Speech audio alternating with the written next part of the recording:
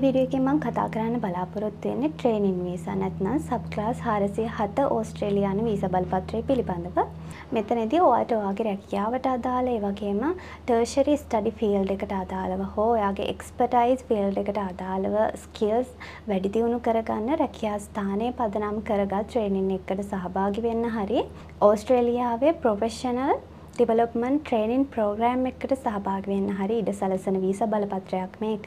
මේ වීසා බලපත්‍රය ලබා ගන්න තියෙන සුදුසුකම් විදිහට ගත්තොත් එහෙම මුලින්ම ඔයාගේ ස්පොන්සර්, ඒ කියන්නේ ඔයාට ට්‍රේනින් ප්‍රෝග්‍රෑම් එකකට ස්පොන්සර්ෂිප් එකක් ලබා දුන්න ස්පොන්සර් අනිවාර්යයෙන්ම ටෙම්පරරි ඇක්ටිවිටීස් ස්පොන්සර් කෙනෙක් ලෙස ඇප්‍රූව් වුණ ස්පොන්සර් කෙනෙක් වෙන්න ඕනේ. ඒ වගේම ඔයාගේ sponsor Australian commonwealth government agency එකක් නෙවෙයි නම් ඔයාගේ මේ ට්‍රේනින් ප්‍රෝග්‍රෑම් එක සඳහා ඔයාව නොමිනේට් කරන්න ඕනේ. ඒ වගේම ඕස්ට්‍රේලියාව තුල ඉඳලා මේ වීසා එක සඳහා අයදුම් කරන්න බලාපොරොත්තු වෙමින් ඉන්න ඇප්ලිකන්ට් කෙනෙක් නම් ඔයා සතුව ටෙම්පරරි සබ්ස්ටෑන්ටිව් වීසා එකක් තියෙන්න ඕනේ. ඒ වගේම මේ සබ් ක්ලාස් 403 771 හෝ ස්පෙෂල් පර්පස් වීසා එකක් වෙන්න බැහැ මේ ටෙම්පරරි සබ්ස්ටෑන්ටිව් වීසා එක. මේ කිව්ව තුන ඇරෙන්න වෙන ටෙම්පරරි සබ්ස්ටෑන්ටිව් වීසා එකක් ඔයා සතු වෙනවා නම් ඔයා සුදුසුයි මේ ට්‍රේනින් වීසා එක සඳහා යෙදුම් කරන්න. ඒ වගේම මේ වීසා එක සඳහා යෙදුම් කරන අවස්ථාව වන විට ඔයාගේ වයස අවුරුදු 18 හෝ 18ට වැඩි වෙන්න ඕනි. සහ ඔයාට හෙල්ත් ඉන්ෂුරන්ස් එකක් මෙතනදී අවශ්‍ය වෙනවා. මොකද මේ වීසා බලංගු කාලය අතරතුර ඔයාගේ හෙල්ත් කොස්ට් එක ඔයා විසින්ම තමයි බලා ගන්න වෙන්නේ. ඒ නිසා ඔයාට මෙතනදී හෙල්ත් ඉන්ෂුරන්ස් එකක් අරගන්න අවශ්‍ය වෙනවා. ඒ වගේම ඔයා ජෙනුයින් ටෙම්පරරි එන්ට්‍රන්ට් කෙනෙක් වෙන්න ඕනේ. ඒ කියන්නේ ඔයා ඔයාගේ වීසා වළංගු කාලය අතරතුර විතරයි ඔයා රැඳිලා ඉන්න ඕනේ.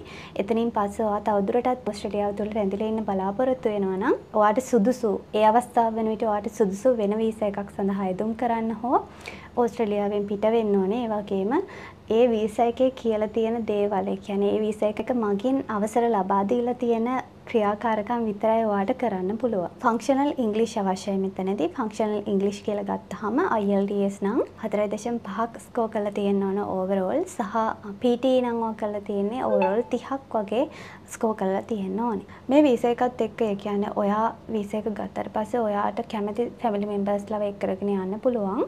කැමති කියන්නේ එලිජිබල් ෆැමිලි මෙම්බර්ස්ලව. මෙතනදී ඔයා එක්කන් යන බලාපොරොත්තු වෙන ෆැමිලි මෙම්බර්ස්ලා ඔයාගේ වීසා ඇප්ලිකේෂන් එකට ඉන්ක්ලූඩ් කරන්න ඕනේ. ඒ වගේම දැන් වීසා කොස්ට් එක විදිහට තියෙන්නේ ඕස්ට්‍රේලියන් ඩොලර් 405ක මුදලක්.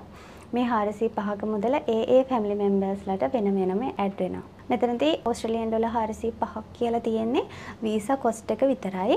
මොකද වෙනත් charges මේකට include වෙනවා. ඒ කියන්නේ ඔයාගේ health checks වලට, police certificates වලට, ඒ වගේම biometrics වලට, අන්න ඒ වගේ දේවල් වලට මෙතනදී වෙන වෙන charges එකතු වෙනවා. මේක නිකන් ඕස්ට්‍රේලියන් Home Affairs website එකේ සඳහන් වීසා කොස්ට් එක විතරයි. මේ වීසා බලපත්‍රය සඳහා migration instrument 2019 කියන instrument එකේ තියෙන occupations වලට අයදුම් කරන්න පුළුවන්. ඔයා මේ sub class 407 යටතේ අයදුම් කරන්න බලාපොරොත්තුවෙන් ඉන්න කෙනෙක් නම් ඔයාට අවශ්‍ය වෙනවා රෙජිස්ටර්ඩ් මයිග්‍රේෂන් ඒජන්ට් කෙනෙක්ගේ උපදෙස්. මොකද ඔයාගේ ඔකියුපේෂන් එක ඒ සඳහා සුදුසු වෙනවද?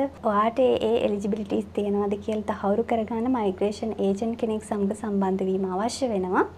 ඔයාට අප ආයතනය worldwide visa consultancy private limited සමග එකතු වුණොත් රෙජිස්ටර්ඩ් මයිග්‍රේෂන් ඒජන්ට් කෙනෙක් සමග සම්බන්ධ වීමේ හැකියාව තියෙනවා.